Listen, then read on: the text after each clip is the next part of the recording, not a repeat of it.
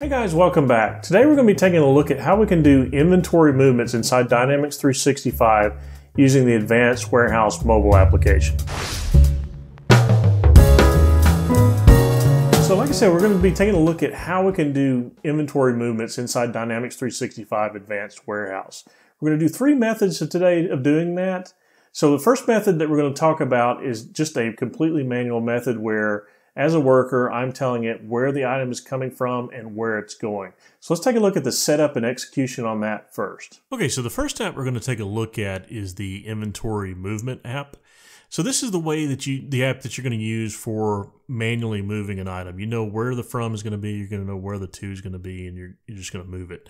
So in the um, mobile device menu items, I've got the the movement app here highlighted. It's pretty simple setup, so I've just called it movement um, for the menu name and the title. The mode is going to be work because it's actually going to produce work in the background and it's going to not use existing work. So it's going to create work, it's not going to use existing work. And then the work creation process that we're going to select is movement. So right now everything else is set to no. Okay, so let's look at an on hand first. So I'm going to go over to the on hand here, and I've got an item Z0001. I've got some in a bulk location. I've got some in a pick location. I'm going to move 100 to a second pick location will be, be the example here we're going to use. So I'm going to go into the uh, Warehouse mobile app. I'm going to go into inventory and I'm going to go into the movement app. The first thing it's going to ask me is the location. So my location I'm going to move it from is the zpic location. Say okay. And then my item number is going to be the Z0001. And quantity I'm going to move, I'm going to move 100. Okay, now it's going to ask me the two locations. So I'm going to go ahead and put in uh, my to location. We'll put zpic2.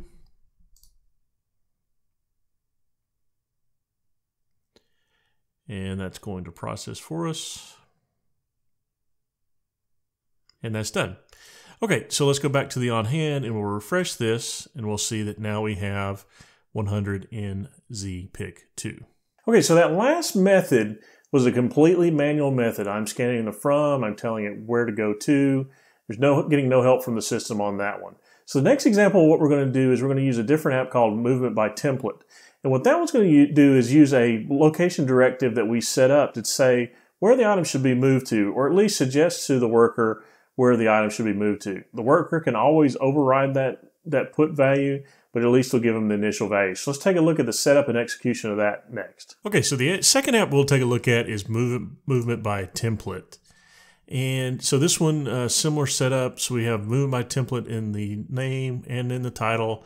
The mode is going to be work and use existing work is going to be no. This is going to generate work for us. Okay, and then the work creation process is going to be movement by template. Um, and I've got generate license plate set to yes on this one.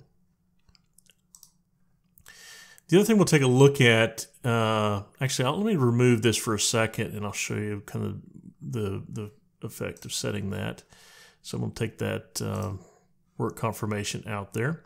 So the other thing we're going to take a look at here that, that this works with is this works with uh, the location directives. So if I go to my location directives, uh, go to warehouse management, and then setup, and then location directives. The location directives that this one is going to use is going to be under the movement uh, work order type there. So we're going to go to inventory movement, and I have location directives here set up. Main thing to pay attention, I've got a couple of rules here, but really it's going to move it to, suggest to move it to a fixed location. But you just uh, come in here and set up your location directives as needed.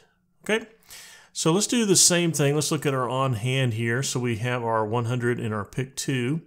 And what, what I'm basically going to have this this one is going to do is going to suggest a location to move it to, right? So since ZPick is the fixed location, what we're going to expect to see is when we when we scan this uh, 100 here, it's going to tell us to move it back to the ZPick location. Okay, so let's go ahead and do that. Let's get out of the movement app here, and we're going to go to our movement by template. And the location we're going to choose is going to be our ZPick 2 this time.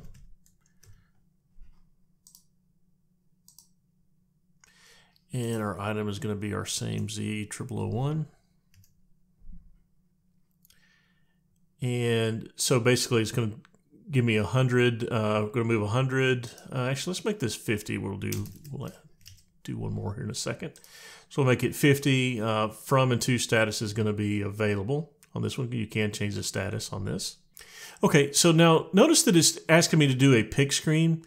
And I'm going to show you how to avoid having to do this because this is just basically telling us after we've scanned the 50 to go pick up from the ZPIC2 location. I'm going to show you how to avoid that in a second. That's going to be with that work confirmation I showed you. And we're going to say OK and then it's going to tell us to put it into the zpic location. Now know that you can override this location if you want. You can uh, the user can specify override location and it'll ask them for another location. So you don't actually have to pick put it where the uh, where the location directive tells you there. Okay, so we'll go ahead and say okay. Okay, so let's go and hit the refresh here. So now we've got 50 left here. So let's go back to that mobile uh, menu device items here, or mobile device uh, menu items here, and let's go back to the work confirmation setup. So a lot of times I get questions on what does this auto confirm do, and this is a good example of when you can use it. So I'm going to just choose pick. I'm going to auto confirm that and save it. All right. And so let's go move that other 50. So we're going to move this other 50 here in the ZPIC2 location back to the ZPIC location.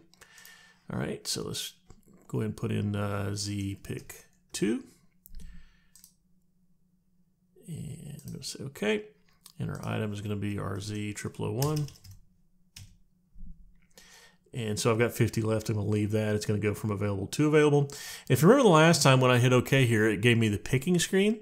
So this time I would expect, since I've uh, added that uh, work confirmation to automatically do the pick side, I won't see that it should go right to the put side. Okay, so let's go ahead and hit OK.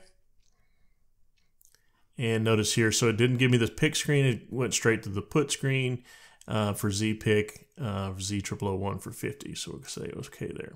Okay, so in the last example, we're using that inventory movement by template to suggest a location where the item should be put to. In this next example, we're still we're going to use that same app, that inventory uh, movement by template app, but what we're going to do is we're going to create work using that app and not execute that work. So we would use this, for example, if I was going to generate the work and then somebody else was going to come back later and execute that work. So I wanted to move item uh, from A to B. I'm just going to scan it, generate work, and then later on, uh, someone else is going to come along and perform that work. So let's take a look at the setup and execution of that step. Okay, so in this next one, we're going to adjust the movement by template just a little bit. And what we're going to do is we're going to check this box here, create movement. Okay, so once we do that, I'm going to go ahead and save that. This movement by template now is going to create work for us. So this would be like if I'm going to scan it and somebody else is going to complete the work. So we need to have a way or a menu item that's going to look at that inventory movement work and allow another user to execute it. So what I've done here is I've created another menu item. It's going to be system directed, but you can use user directed or any other uh, directed by method that you want. And this one's going to use work and it's going to use existing work. And I've basically made sure I've got a work class in here so it only shows that work. So next thing let's take a look at is the on hand here. So we've got um, the ZPIC location's got 399 and we have bulk that's got 109. So let's say that we want to move um, 109 from bulk over to the ZPIC location. All right. So let's go into our mobile app and let's go ahead and cancel out of this here and we're going to go to our movement by template and the location is going to be Z bulk and item Z001 we're just going to go ahead and move 100 I'm going to say okay okay so let's go back to D365 and go and take a look at the work so I'm going to go into um, uh, warehouse management and then work and then all work we should see that, that just that step actually created work for us right here. So here it is, there's our inventory movement work. And again, it's just using that location directive we have set up for inventory movement. So we have the Z bulk location. We're moving 100 from Z bulk to ZPick. Okay, so now somebody just has to go in and, and um, perform that work. So that's what our other menu item was for. So let's go back to our warehouse management app. Cancel out of here. And we're going to go to our movement work execute. And then so here's our, our work that's going to automatically execute for us. So we have our Z bulk location, our Z triple one for 100. We're going to pick it from there, and then we're going to put it into the Z pick location, the Z 0001 for 100. So, okay there. All right, and that's completed our work.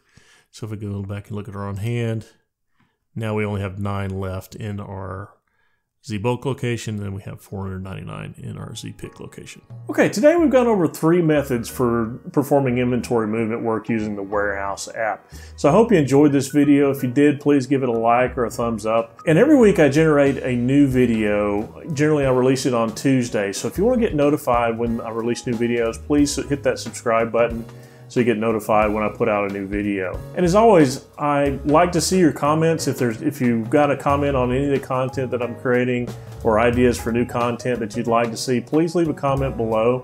Glad to see those. I, I generally respond to those or read all those and respond to them. So feel free to leave a comment. Don't be shy. Um, I lo love seeing those. Okay, so until next time, thanks for watching.